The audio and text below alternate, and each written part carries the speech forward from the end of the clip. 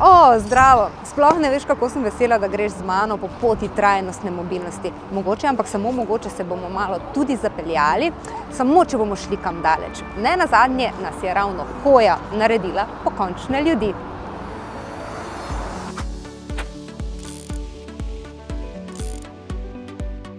Promet na območju Slovenije sicer doprinese le 50 tisočink toplogrednih plinov na celotni zemlji, ampak vedno je ampak. Cestni promet povzroča okoli petino vseh izpustov toplogrednih plinov v Evropski uniji in to je tista kategorija, kjer se številke slabšajo. Grem raje na boljši zrak. Poleg toplogrednih plinov promet med nas prinaša tudi snovi, ki so človeku stropene. In v Sloveniji se z avtomobilom prevažamo več kot povprečni evropejec. Kadar je pot daljša od kilometra, je naše najpogostejše prevozno sredstvo avto in v njem smo prevečkrat sami. Povprečno je v avtomobilu človek in pol, tako bi že z večjo koncentracijo ljudi v vozilu lahko zmanjšali količino toplogrednih izpustov in izpustov toksičnih delcev. Seveda pa je treba spremeniti tudi naše navade in sredstva prevažanja. In zato se bomo danes pogovarjali o trajnostni mobilnosti, ki temelji na nizkooglični energiji, zmanjševanju ogličnega odtisa in emisij trdih delcev v prometu, pa tudi o e-mobilnosti. Kaj meniš ti in ali imaš kakšno vprašanje, pošlji nam video. Medtem ko čakamo na kakšen odziv, samo še informacija. Že ko so okoli leta 1870 električni avtomobili prevažali ljudi, so se vozniki soočali z podobnimi težavami, kot se vozniki električnih avtomobilov srečujejo danes. Domet in polnilne postaje ostajajo problematični spremljevalec e-mobilnosti že skoraj dve stoletji. O, gledajte, že prvo sporočilo. Zveze tabornikov Slovenije. Lepo pozdravljeni, moje ime je Črt in sem tabornik. Kakšne so sploh naše možnosti glede trajnostnega prometa? Kakšna prevozna sredstva so nam na voljo? Ja, takole na pamet bi rekla, da je možnosti seveda več. Recimo pešačenje, pa kolo, pa še No, pa seveda električni avtomobili, o katerih se v zadnjem času veliko govori, čeprav so ljudi prevažali že v 19. stoletju. Obstaja še več poti, ki so nam na voljo, po njih odlično navigira profesor dr. Tomaš Katrašnik z Fakultete za strojništvo. Doseganje trajnostne mobilnosti žal ni tako enostavno kot ta tlesk. Torej, trajnostna mobilnost zahteva mnoge sistemske pristope, ki bodo zahtevali v prihodnosti mnoge korenite spremembe. Seveda, trajnostna mobilnost obsega podnebno neutralnost, ki je trenutno zelo izpostavljena in je zelo pomemben cilj. Ampak trajnostna mobilnost, tako kot zdaj tudi upošteva in narekuje Evropski zeleni dogovor, vsebuje tudi cilje za doseganje netoksičnega okolja, zahteva cilje, da mobilnost zelo zmanjša svoj vpliv na okolje tudi preko izrabe osnovnih virov, tudi preko porabe energije in da se čim boljše vklopi v sektorsko sklopitev energetike. Kar pomeni, mi želimo globalno čim bolj zmanjšati vtis mobilnosti. Za svojo mobilnostjo vsekakor človeštvo bo pustilo nek pečat, ampak želimo ga res sistemsko in na vseh relevantnih ravneh zmanjšati. Kakšne pa so naše sistemske možnosti?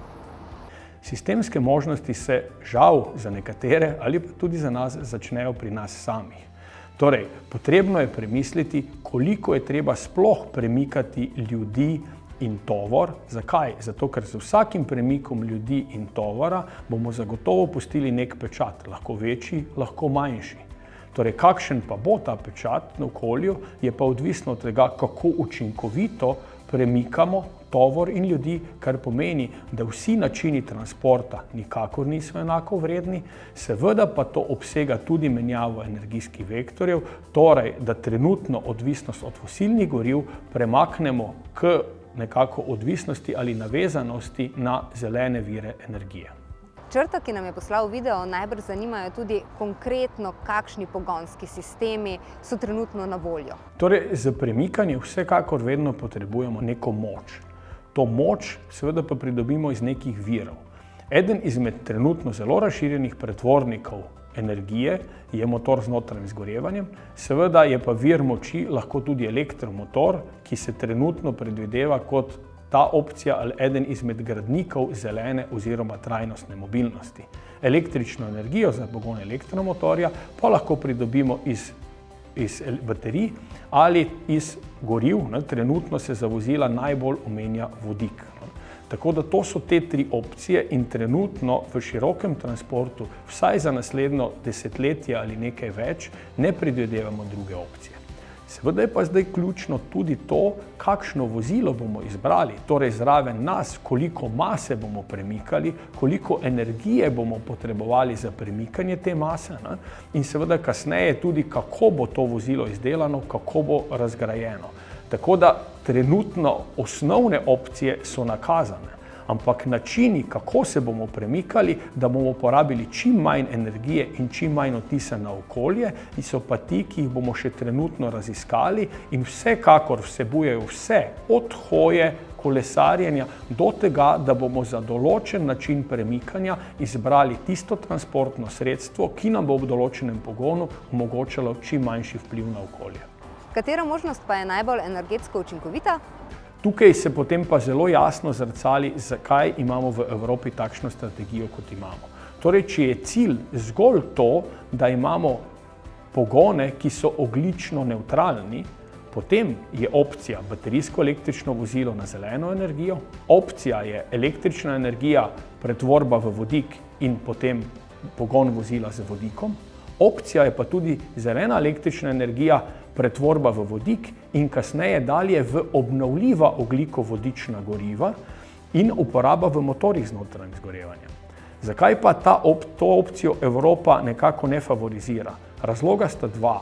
Eden je ta, da motori z notranjim zgorevanjem bodo vedno izpuščali nekaj toksičnih izpustov nesnažil, torej dušikovih oksidov, delcev. Ne? Hkrati pa ima ta pretvorba iz obnovljive električne energije v oglikovodična goriva nižji izkoristek.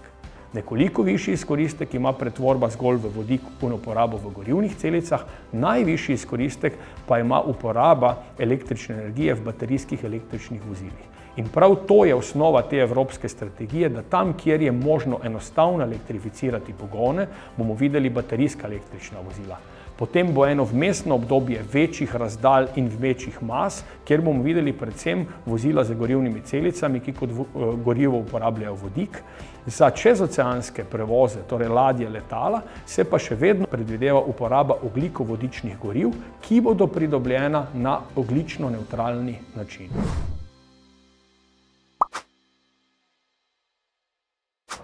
Očitno smo dobili še en video Zveze tabornikov Slovenije. Živijo, jaz sem Neža in sem tabornica. Zanima me, ali so e-automobili res kaj boljši, če za nje elektriko še vedno proizvajamo v termoelektrarnah na fosilna goriva. Torej, pri tem je zelo pomembno, katere cilje zasledujemo. Pa se bom najprej obrnil zgolj na to progledne pline oziroma na oglično neutralnost. Če bi zdaj vso električno energijo pridobili iz termoelektrarn in jo uporabili v električnem vozilu, bi proizvedli primerljivo ali res nekoliko več izpustov toplogrednih plinov v primerjavi z uporabo vozila, ki ima otov ali dizelski motor. V primerjavi s kamionom bi ti izpusti res bili nekoliko višji, zato pot od premoga do električnega kamiona. Ampak treba je poštevati pa to, da če imamo termoelektrarne, ki so opremljene z dobrimi sistemi za naknadno obdelavo dimnih plinov in če so postavljene izvan urbanih središč, bomo tudi z takšnim pristopom znižali koncentracije toksičnih onesnažil za ljudi in s tem izboljšali njihovo bivalno okolje. Hkrati pa je seveda se treba zavedati tudi to, da mnoge države in tudi Slovenija nimamo zgolj eh, pridobivanja električne energije iz termoelektrarn in električni miks, kjer ni največji delež termoelektrarn, je pa že tisti, ki omogoča, da tudi električna vozila med uporabo emitirajo nekoliko manj toplogrednih plinov, kot bi jih vozila z motori z notranjim zgorevanjem. Ampak trajnostna mobilnost je veliko več kot to, kako onesnažujemo in koliko onesnažujemo našo zemljo, medtem ko avtomobile in druga prevozna sredstva uporabljamo. Ne? Gre za cel krok. Točno. To je pa ta največji izziv. Ne? Trenutno vsi gledajo, kaj se dogaja med uporabo. Ampak to je zelo majhen del. Torej, eno je, koliko emitiramo med premikanjem vozila.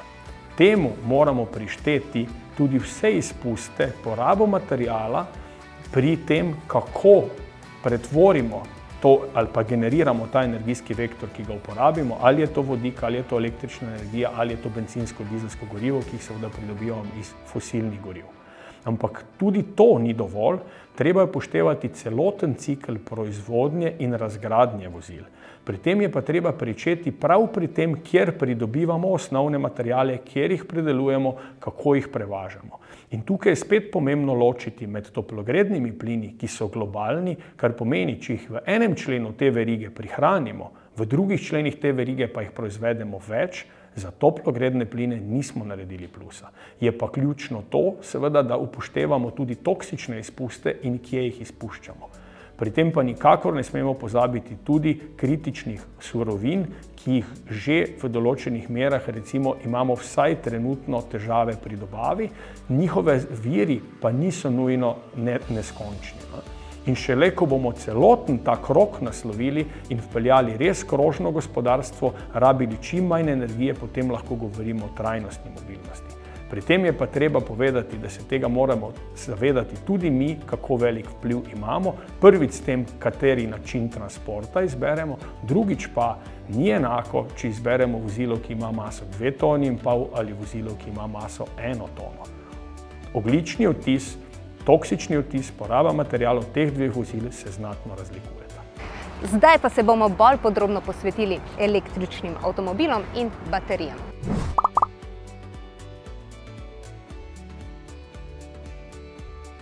Video je nastal v okviru spletnega izobraževanja, ki ga za krepitev energetske pismenosti izvaja društvo Enlight. Podpira pa družba ELES. Vsebine spletnega tečaja pripravljamo v sodelovanju s projektom Energetski prehod Slovenije. Še več informacij o energetskem prehodu in s tem povezanimi izzivi najdeš v spletnem tečaju Enlight. Klikni na www.n.lite.si. Nekje tukaj se je izpisalo.